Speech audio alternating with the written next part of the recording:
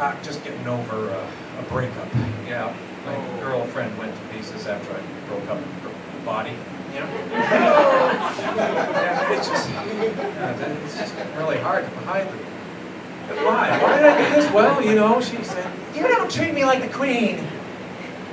Well, okay, I'll treat you like the queen, honey. She was Russian. Took her down into the basement. hey, you got the joke. People know history here. But I, I, I'm, I'm hooking up with another girl, you know.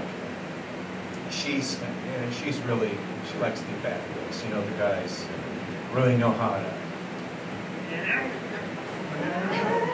drive a stick shift. Gotcha. Yeah, she, Yogarate was founded by Goo Ray Kelly in 1995 when he went through a trial of sequences to effectively protect himself without losing his sense of self. There was a time in my life when karate was too hard for me, but yoga was too boring. But I loved them both. I wanted to effectively defend myself with the efficiency of Mas Oyama and the sensationalism of Steven Seagal. But at the same time, I wanted to learn about myself, like Moses up on Mount Sinai or Neo in The Matrix. And that's what happened. Yogarate is what happened. Yes!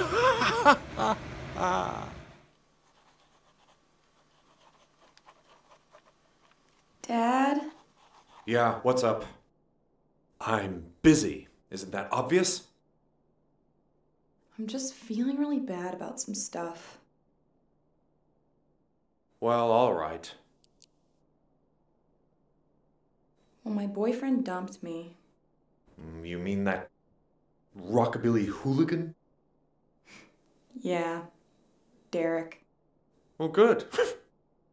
Yeah, but I feel really bad about it. You'll get over it, honey. Mom said I lost my scholarship too. Okay, how about this?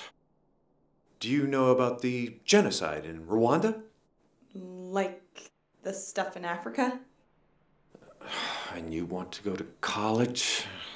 Okay, so there was this one guy who was a Tutsi, and his village was attacked by the Hutu. Hutu mercenaries slaughtered his entire family as they pleaded for their lives, and then they chopped his hands off.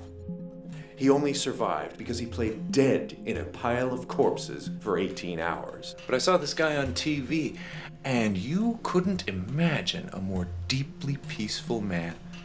I mean, he found true joy in his life despite having lived through that unspeakable horror, and he learned how to very efficiently use a pair of hooks in place of his hands. Dad, what the hell are you trying to tell me? What I'm trying to tell you, my dear, is that you should understand how fortunate you are to live such a privileged and abundant life. My lord, I, I lived in the Temple City in Randamov.